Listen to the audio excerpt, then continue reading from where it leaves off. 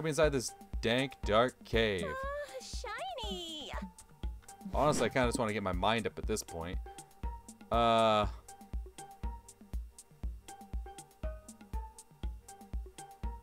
Mmm... Yeah, let's get our soul up, right? Mm, kinky.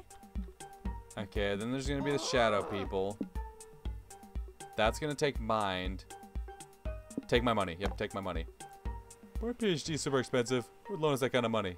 Hmm. Any financial institution ready to profit from abusive interest rates and the cultural belief that a higher education is worth going into crippling debt. Score! Oh, really? Lucky us.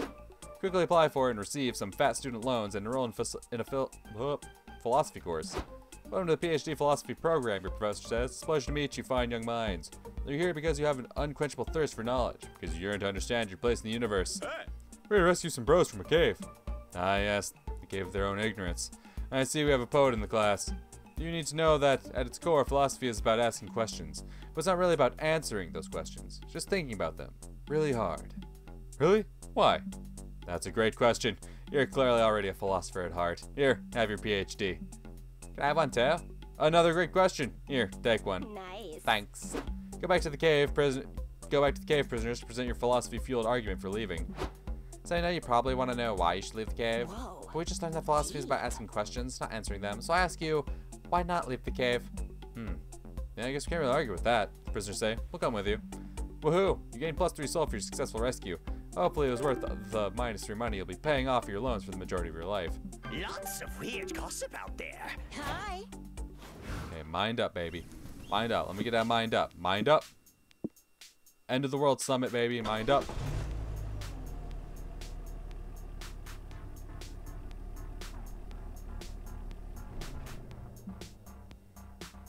Yep. Classic trolley murder.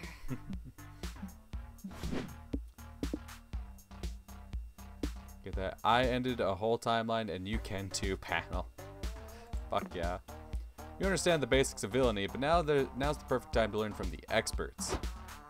Welcome to the I ended a whole timeline, you can too panel. I'm your host, Evil Joy, here with my co-host, Evil Faith. The panel begins. You're so invested that you forgot to be alarmed that they're discussing ending your world. Plus to your mind. So to wrap up, just remember, incapacitate your non-evil twin, keep monologuing to a minimum, and when all else fails, C4 prevails. Thank you. We've reached the Q&A portion of the panel. Does anyone have any questions? This is a question for Evil Joy. Are you doing anything later, babe?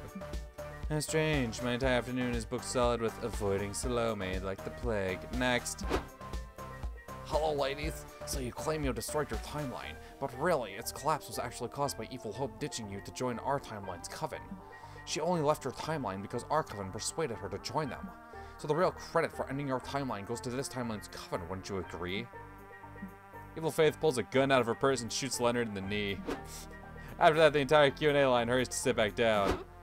Psst, Sigh, it's your chance to ask a dumb question. Totally prank the evil coven. Go for it.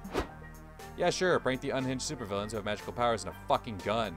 Seems legit. What question do you ask? Sorry, I wasn't listening. Please repeat the panel. Of the two of you, who is the most evil? We're betting on it, and I'm pretty sure it's Evil Faith. What do you think? Who is faster, Superman or me? Then proceed to run around. well, that sounds like stamina. That sounds like money. That sounds like third option. Which is... Well, fuck.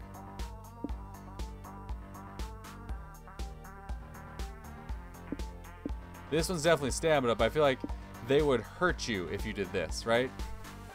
Like they would harm you, which is usually a loss of stamina. But maybe they're gonna put a curse on you that like drains your magic or something. Because if we're taking bets, or excuse me, no, we're not doing that. Nobody wants that. Actually, one of the convention staff says you are contractually obligated to repeat the panel if the audience requests it.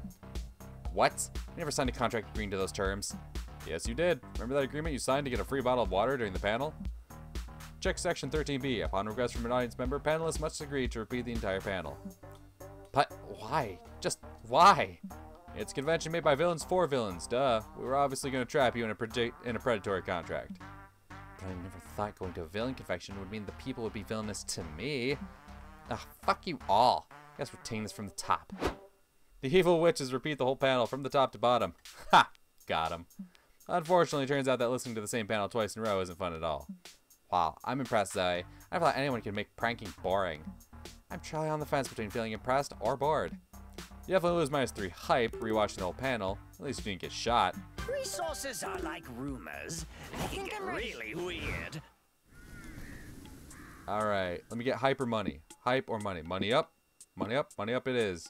To the art exhibition. Money up.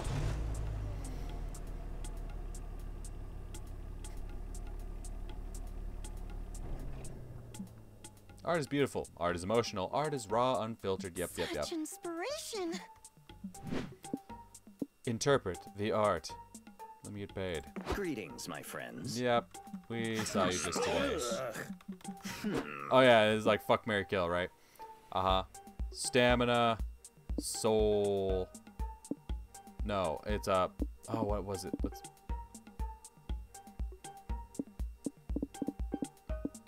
Mary? Lame. Ugh, why do you always choose Mary? It's the most vanilla one. What's exciting or sexy about making a long-term commitment to your soulmate? So why people get married? Uh, I thought it was so they could get a cool hyphenated last name. Or because you lost a bet. I should know. Marriage began so powerful families can mutually increase their wealth and their political power. I refuse to marry these days in protest of the capitalistic nature of it all. Yeah, that's why. Wait, this is billionaire. So you're saying if I marry this painting instead of buying it, I'll get more wealth instead of spending money? I mean, I wasn't really saying that at all. But I've always wanted to attend an art wedding, so I'm not going to talk you out of this. Rich guy pays you plus three money for your consultancy and gives you a no wedding invitation. Woohoo! But sadly, the wedding sucks. The groom's side is all snooty rich assholes. They're no fun to talk to. Meanwhile, the bride's side is just other paintings. They can't talk at all. Polly was right. This is what you get for choosing the most vanilla of the three options. Rejoice in your minus three hype. Lots of weird gossip out there. Hey. I've memorized the wiki. Moss coming in clutch. Hype up, hype up. Come on, let me get some hype up. Hype up. Hit the battle royale, baby. Resources are like rumors. They can get really Hell weird. yeah. Time to stop and get some rest. We all good here. Some time to update my fanfic. We all good here. What's our strategy? Hell, you could even take one off the top. I'm still good. But wait, there's something else. We did it. It's time to engage some cryptid butt stuff. Let's go. I'm about it.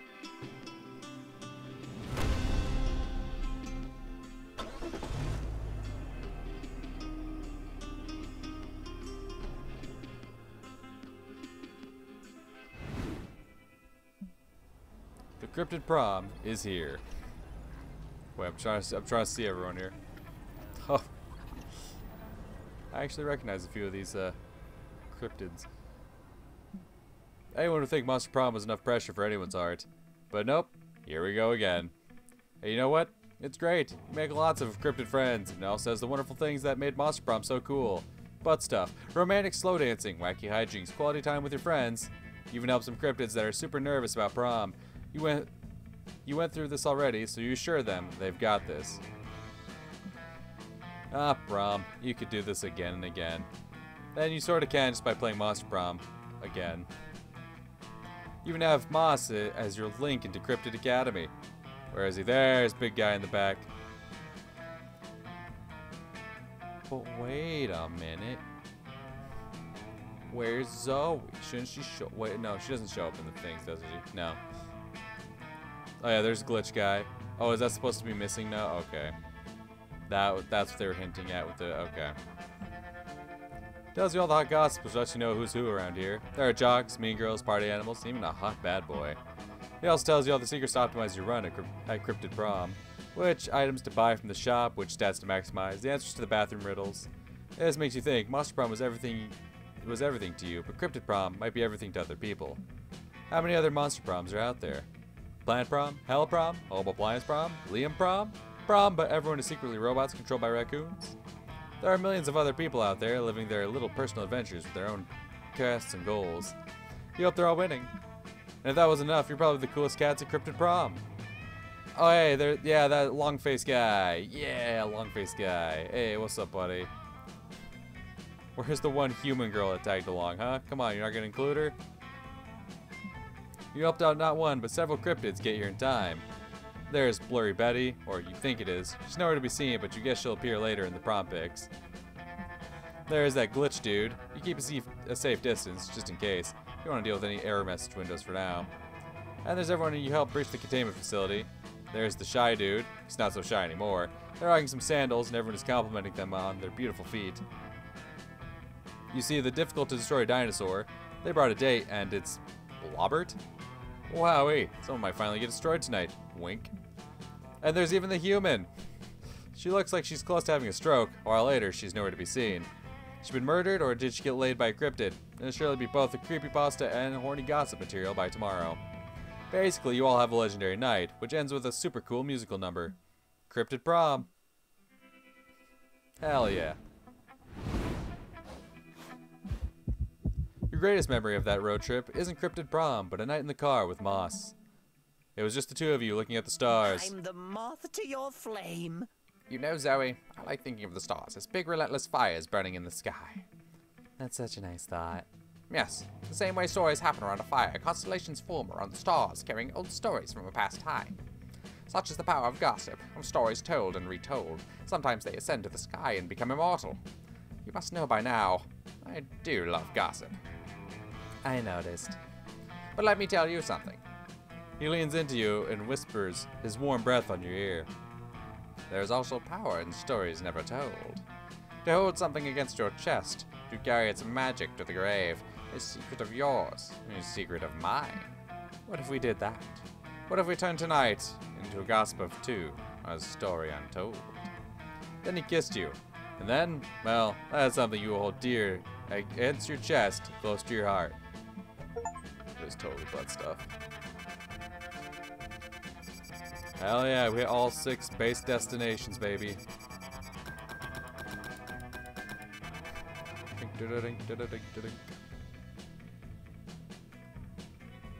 Let's fucking go.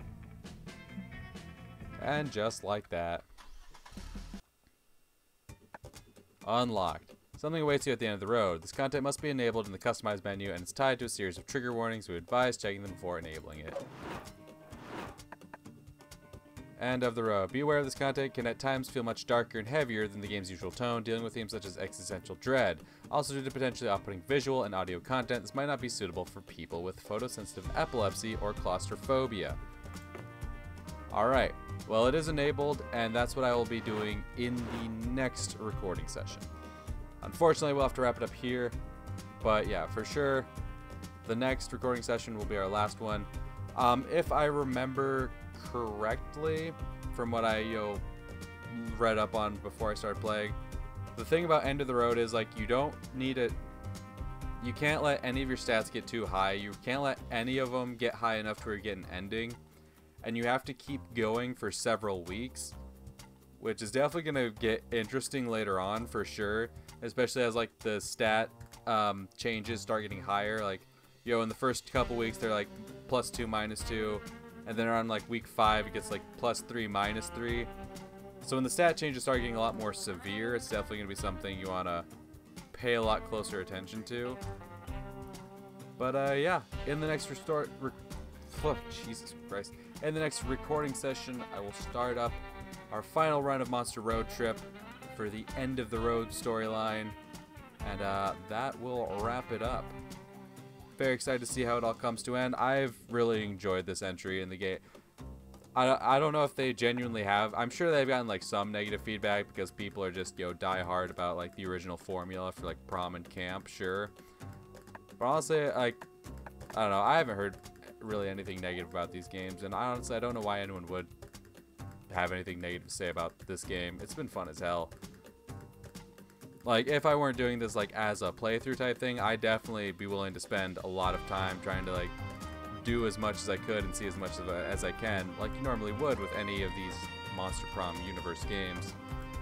But yeah, like I said, we'll begin the end in the next recording session. But for now, peace. What is up, everyone, and welcome back to Monster Road Trip. In the previous recording session, we wrapped up the last of the main endings, right? We hit the final, we hit the sixth destination, so we unlocked the end of the road storyline, which I've been looking into it a bit more, you know, making sure I'm adequately prepared, and uh, it's gonna be rough. It's definitely gonna be rough. Um, so here's the thing you'll know in our previous runs, right? Usually to get like the full endings, or to at least try to get the full endings to like complete a sto- to complete the main store, the side storyline, to complete the date ending, to build up stats to our destination, would usually take about four in-game weeks, right? So to just start the end of the road content, you have to get to at least week nine just to start it. And then you have to play all the way through through week 11.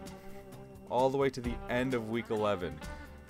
And uh, so you'll you'll probably notice you probably have noticed I mean that uh you know in in previous runs our stat as the weeks go on the stat changes get more drastic. It starts out at, at like plus 2 minus 2 and then I think by I heart the highest one we ever got was like plus 4 minus 4 and uh, by the end of this, it's going to be up to like plus seven, minus seven, from what I've read in the guide.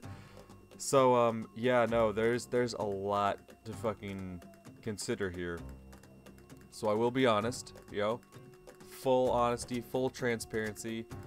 I do have a full guide pulled up. Like before, I was just looking at a guide that kind of gave me a general overview of how things work. It wasn't giving me any, yo, tips, tricks, or like the actual answers for everything but legitimately at the top of the guide while I was reading this, it's like, listen, if you want to see the end of the road content and want to actually see it all the way through to the end, do not take chances.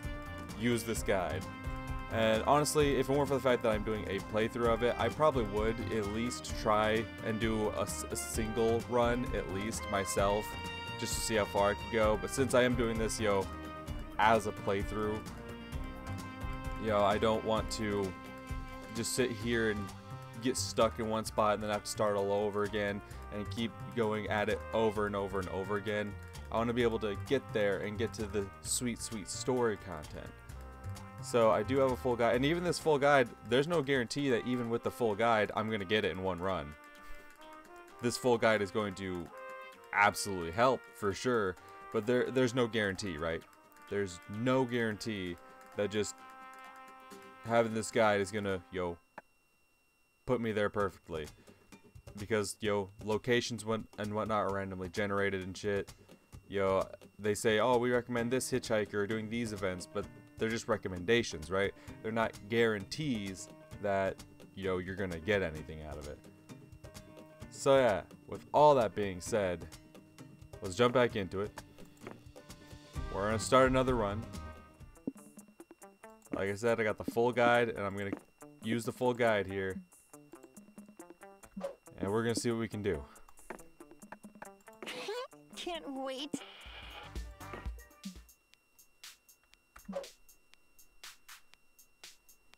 Let me untangle my tentacles first. So first up does not matter. Uh because all our stats are the same. So it's a coin flip. I don't think I've seen picnic spot yet, so fuck it, we'll go there. Why not?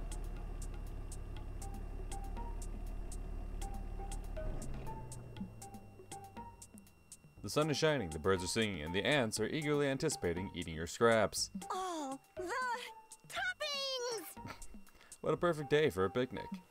You've got your picnic basket and your checkered blanket. All that remains is deciding what to do now that you're here. Oh, sure. Let's just crash other picnics. Why not? Why make your own picnic when you can just crash someone else's? After vetoing an awkward company picnic and a family exclusively eating cottage cheese, you and your friends find the perfect picnic to sneak into. Party time! Guys, that picnic looks poppin'. There's got to be at least 50 people over there. They've even got a DJ. We're gonna get in though. Bouncer seems strict. He's not letting that bear through. Ain't on the list, pal, says the bouncer. Get your furry ass out of here before I kick you out. Wait, is that Liam waiting in line to get in? Hey! Liam! Liam! Hey, Liam! It's Scott, your friend. Hey, hi! So mainstream. Oh, great. Even you guys know about this place now? Please tell me this pic- picnic hasn't become mainstream. Hi! Hey, um, just curious, would you be down to let us exploit your friendship and use you to get into that picnic over there? Ugh. No way. This is the DJ Honey Dijon's picnicking extravaganza 20XX we're talking about. It's the hottest locale for trendy picnicking aficionados, or anyone who just enjoys snorting cocaine off a checkered blanket. Wow, so you get invited to one exclusive picnic DJ'd by a mustard bottle and think you're too cool to hang with us? I thought we were friends. We are friends, I swear, I'm not trying to be a dick. The truth is, I'm barely cool enough to be here. I'll have my hands full just talking to the bouncer and letting me inside. I don't have a way to get you in too. Wait, have I done this one? William's a bust, but you won't be deterred. Here's how you're gonna crash this picnic. Yeah, I did the trench coat one, didn't I? Right, and yeah, yeah, yeah. Where they're like, oh, I'm some royalty, and they're like, oh, right, of course, my bad. Take your chances with the guess. I guess we're gonna do the other one then, because I've already done this one, so why not, you know? By, cla- by claiming your names are the most statistically common names John Doe, Giacomo Calzone, and Password 1234. Great idea. Debs on Password 1234. That's my stripper name according to funnamegenerator.com. Awesome, bro! Cool. I want to be Giacomo Calzone. I always wanted to be Italian when I grew up. Hmm. That's your big plan. You want to be stupid enough to think those are real names. You'll just see about that. Sign up to the bouncer and introduce yourself as the John Doe. Ah, yeah, of course. Big fan of your work, Mrs. Doe. You and your friends can go ahead inside. No way. Why the hell did that work? Hey, hey, back up. What do you think you are, pal? Welcome to Liam de Lioncourt. I'm a level 2 moderator on the DJ's exclusive server. Come on, I gotta be on the list. Liam D. Leoncore? Ha, that's a fake name if I ever heard one. There's too much alliteration. What's a lion? What's a lion court? Don't lions live in prides or something? Get out of my line. It's a bad day to be Liam. Not your problem though. You and your friends enjoy the picnic and gain plus two stamina, eating delicious hoagies. Real John Doe, Password 1234, and Giacomo Calzone get turned away when they show up though. Password 1234 sobs fill the air. It was her birthday, and her one wish was to get to this picnic. You lose soul for ruining her day. I think I'm ready. That's fine. I can live with that. Okay. Oh, we do have a soul up. Cool. I'll take. Oh, damn. We got two souls up. Oh, interesting. Interesting. Well, now I'm curious. Is is there one where we can get soul up but stamina down, just to keep things perfectly maintained? I'm I'm just curious. Okay, so there's nothing we can do to get soul up but also stamina down so it's just go to one i haven't i don't think we've seen the animal sanctuary so fuck it we'll go there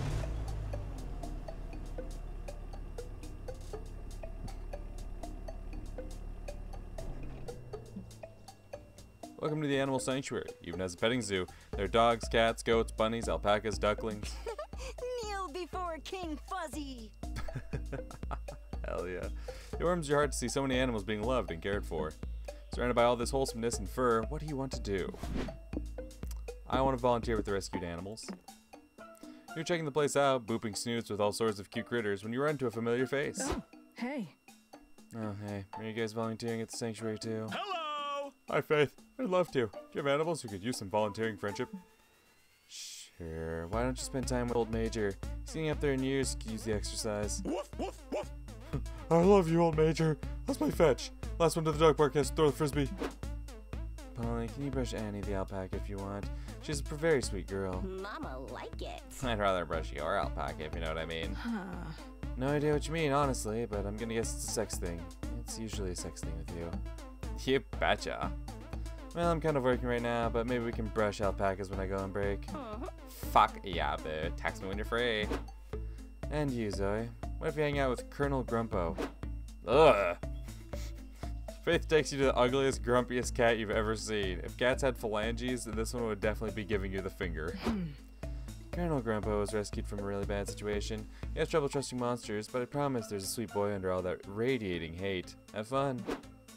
Great. Scott gets to play fetch, and Polly's having car sex while you're stuck with the world's meanest cat. Well, maybe we'll all be okay. Wait, did Colonel Grumpo just steal your wallet? How? You didn't even see him move. You better get on this cat's good side before he does something worse. This cat obviously lost faith in people due to MonsterKind's inevitable descent into idiocy. Show him there's still hope by showing off your extensive classic literature knowledge. Oh, Jesus. Or show Colonel Grumpo you're the real deal by giving him what all cats want most the chance to drive a Ferrari. Uh, this sounds like it'd be funny, so fuck it, we'll go with this. In the time it takes you to convince a rental company to give you a Ferrari despite your horrible driving record, your friends have returned. hey, You guys seen the car out front with the grumpy cat in the driver's seat? It's so cool they're letting underprivileged animals work for Uber now. Wait, is Colonel Grumpo in that Ferrari? Zoe, are you letting a cat drive? That's so dangerous. nah, I'm not pressed. I'm dead anyway, so who cares? Let's go for a ride with Colonel Grumpo. But Let's do it. I have no sense of danger, and a cat chauffeur sounds cool, so I see no problem with this. Grumpy Kitty, take us away. You all hop in the car with Colonel Grumpo and let him drive you to, into the sunset. So is this a regular thing with you, Zoe? Every time you want to cheer a cat up, you let it drive a Ferrari? Pretty much. Nice. Cool, cool. I love sticking my tongue out the window. You're the best reckless driver ever, Colonel Grumpo. At least everyone's wearing their seatbelts. That makes me feel marginally better about this extremely unsafe situation. You give Faith a few extra white hairs, but your joyride is a success. You even see a small smile on Colonel Grumpo's face as he snoozes on the steering wheel. You lose money on the car rental, but gain soul spending time with Grumpo. Hi. Hell yeah. Okay. Any chances to make money? Not the show. Maybe on the movie set? Maybe on the movie set? Can we can we make money on the movie set? All right, bet we can make money on the movie set. Let's go.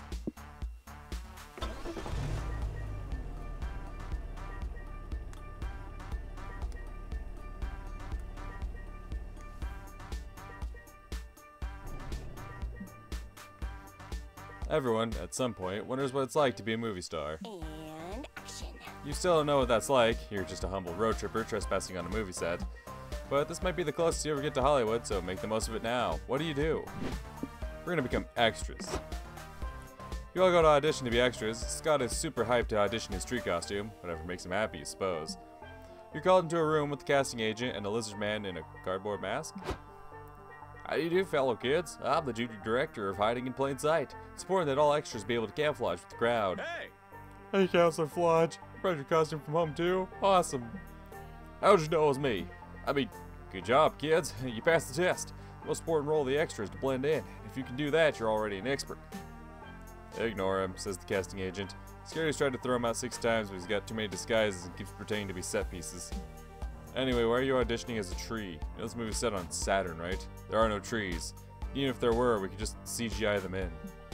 Yeah, but I play a really good tree. Watch me act like I'm turning sunlight into food. Oh, wink! Guys, I think I'm killing it. Not happening. I'll even quote the script.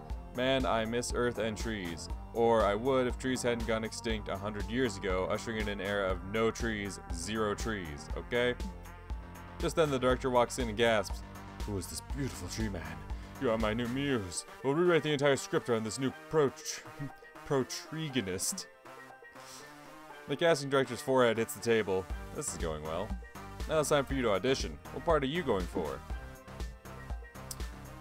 You see, everyone's the protagonist of their own story. Therefore, isn't everyone also the extra in someone else's story? Audition to be the juiciest extra of all, the lead role. Damn, what an argument. Let's go. No, we have a lead actor already, says the casting agent. A weird proverb isn't going to make me want to recast that. Could still be an extra, though. You'll just see about that. You go to set and start filming the Saturn Saloon's shootout scene. This plan ain't big enough for the two of us, says the antagonist. Well, technically it is. Saturn is huge, but I'm gonna shoot your ass anyway. Oh no, they're gonna kill each other, just like my father was myster- just like my father was mysteriously killed 18 years ago. Next, you film the lovemaking scene where the protagonist bangs the femme fatale in an alien egg sac. You're there too, because reasons. Love is beautiful, isn't it? Reminds me of the love my father had for me before his untimely disappearance. I'm here! I'm in the sex part too. Fun fact, trees can have sex with themselves via pollination. I'll show you. Cut! The director screams, do not pollinate yourself. We aren't filming a porno. Are we? No, no, no, definitely not. Don't cut, it was just getting good. Plot twist. Here's a thought. What if the protagonist is Zoe's father and Zoe went back in time and watched her own Inception? Say, that's the kind of twist that'll put me above that asshole M. Night Salamhander. Okay, Zoe, you win. You can play the lead. Ooh! Ooh, with her trusty sidekick and best bro Tree Scott by her side, right? Nope. The producer said I'm only allowed to rewrite the script one more time before he slashes my tires. We're just adding Zoe. Aw. Okay, I'll just wait in the car then. I'm definitely not gonna cry or anything. Ugh, poor Scott. Lose soul for shattering his dreams, but being the lead plays pays better than being an extra, so you gain money. I think yeah. Alright, can I get soul up? I can. Well then, let's go. Time to stop and get some rest.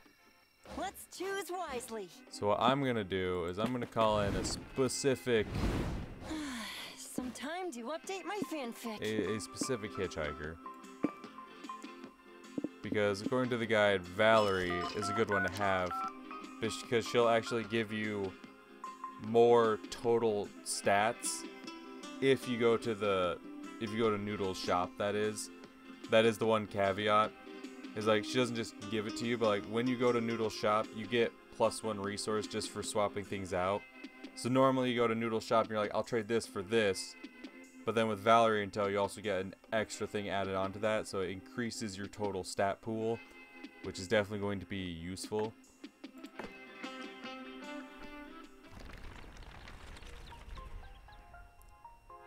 Week two, where are Let we going? untangle my tentacles first. Give me money or soul. Oh, we got soul, baby. Oh, we got soul, baby. Alright, secret government lab. I haven't been there yet, so why not?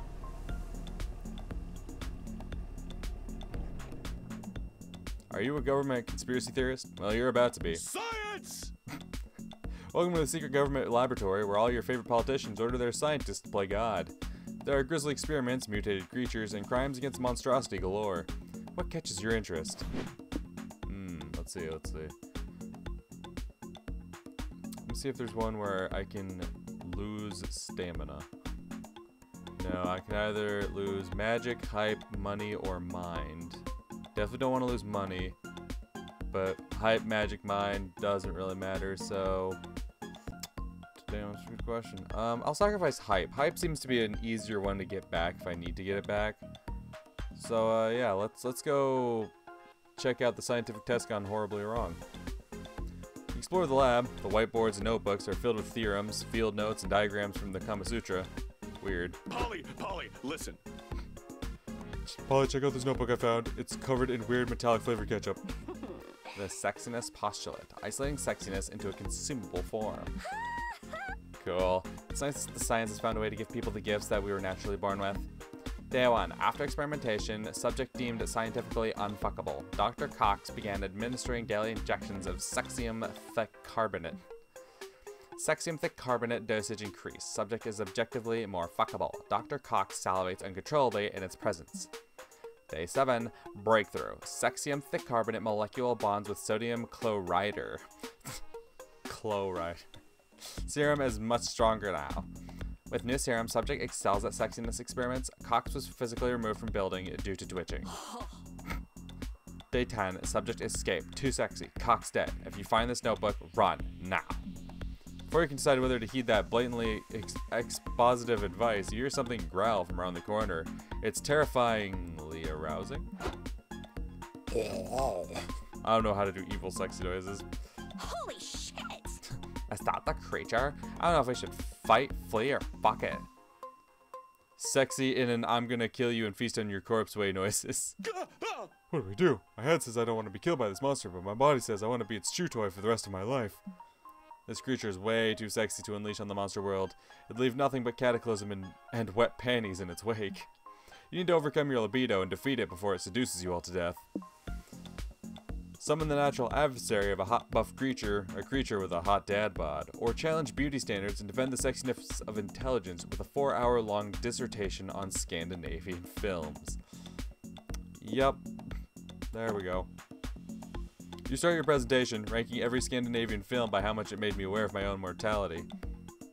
Mildly off-put sexy noises? Hmm. That's working, Zoe. Tell us more about the race of Dutch tilt angles and Western thrillers.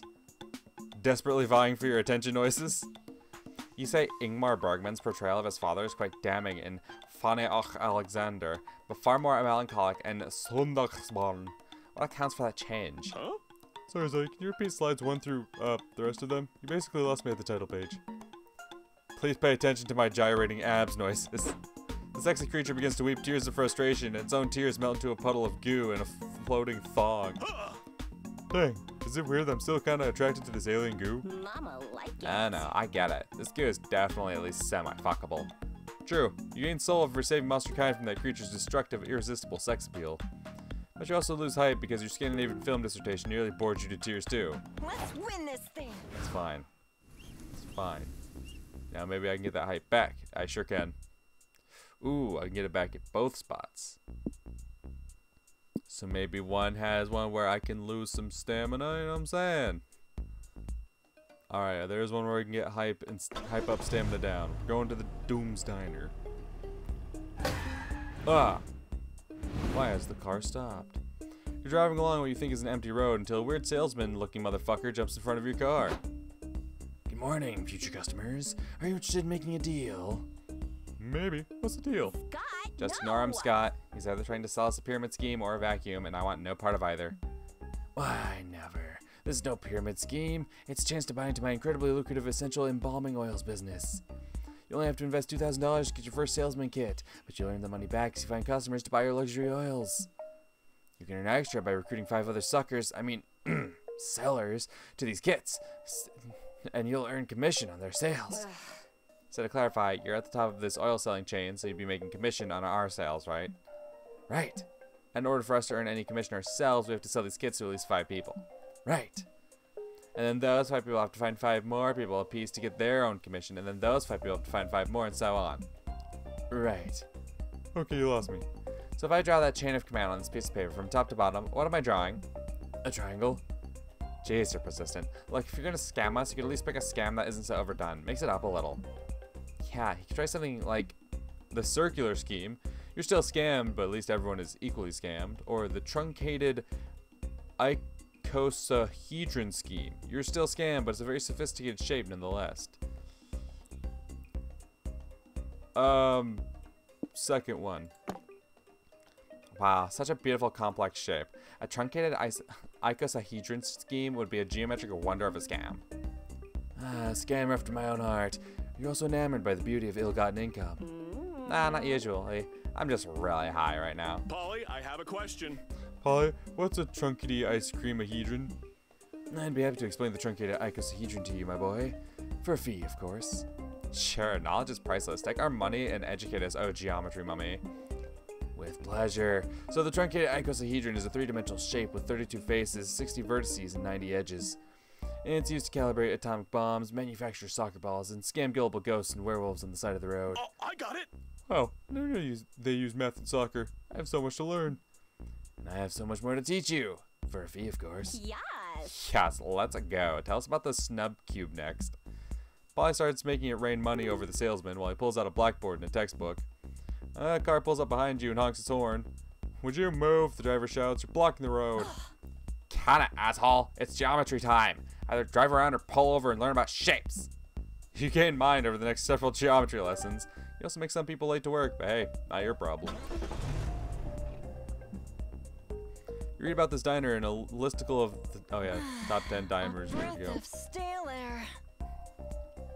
Alright, use the jukebox. You enter the diner and approach the jukebox to play some tunes. Before you can pick a song, your eerie waiter shows up to ruin your good time.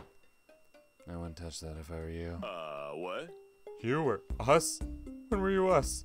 I never noticed. It's okay, Scott. Scott, it's okay. Gerard, stop confusing Scott with your past conditional tenses and be of service here. We're obviously not you because unlike you, we're cool and fun and sexy, which means we're gonna play some music. You think you're better than me? cool, fun, and sexy is nothing on stressed, depressed, and hot in a sickly Victorian child way. Besides, I'm trying to do you a favor. The reason you shouldn't use the jukebox is because it's cursed. Ha! The only cursed thing here is this picture I found of a squirrel that ate a whole melon. Nice. How did the squirrel manage to fit a whole melon in its body, Gerard? It shouldn't be anatomically possible, Gerard. Look at the squirrel, Gerard. Oh, stop. Your bubbly stream of nonsense is cursed enough already. Go ahead and use the jukebox. It's your funeral. No, it's not. My funeral was in a way cooler diner. Say, choose a dope curse track to play. Go full DDR and do Valkyrie Dimension and Beethoven Virus back to back. Or 10 uninterrupted hours of the Happy Birthday song. Yeah, no, we're going full DDR, baby. As soon as you hit play, all the lights in the diner go out. Demonic arrow-shaped sigils appear at your feet. The Devilish Chimera song begins, and you dance faster than ever before. Your feet are a frenzied blur. What a tragic affair. This song is two of the hardest DDR tracks ever created, magically stitched together by a sinister necro dancer. Even I would never create a curse so despicable. The only dance moves I condone are the headbang and the stoic lighter sway, anyway. Wow, intense. How long is Zoe gonna be dancing for? Who knows? You can't stop dancing. You dance out of the diner. You dance all day, every day, ceaselessly. You dance your way into your dream job. You dance during your wedding vows. You have children, and you and your beautiful family dance together.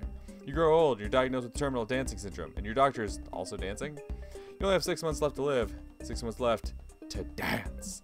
You make the most of that time till you begin to see the light, and you dance toward it, ready at last for rest. The light clears and you're lying on the diner floor. Everyone is staring at you. Then they burst into applause. You rock. Um, Jiza, you broke the curse. You broke it with your sick, nasty moves.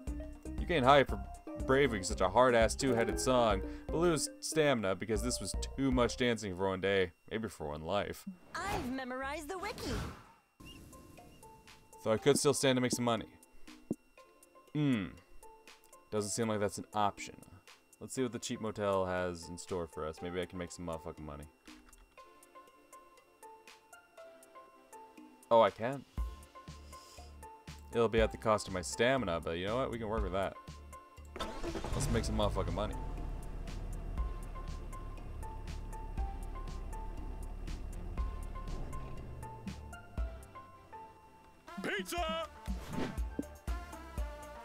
Ah, yes, the room that's just a hole in the floor. Hell yeah.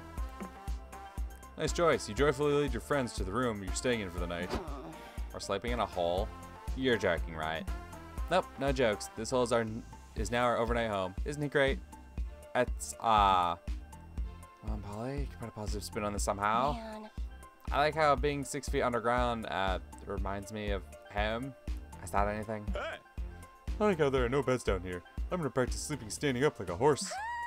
Good for you, buddy. What do you want to do until bed? Want to play a sport you can play in a hole? Like what? Like, hmm, which sports use holes? I don't think of golf, but I think you have to be out of the hole to play that one. Maybe we could watch TV. Do holes have TVs?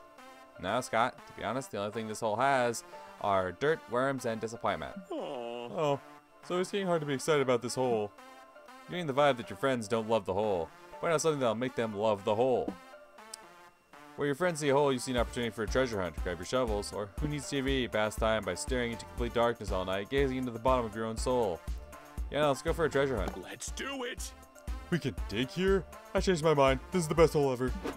You, Paul, and Scott get busy digging for treasure. Scott declines to use a shovel. He's just as fast with his hands and face anyhow. Housekeeping. Am I losing it, or is this thing getting even deeper? yeah, but don't worry. It's all in the pursuit of treasure. We're gonna be rich. Is the hole filling up with water? Yeah, Scott chewed up a water line because he thought it was a snake. He got all spicked, but he's all better now, aren't you, buddy? It was so long, so chrome. Fuck it, this is so far above my pay grade. Carry on.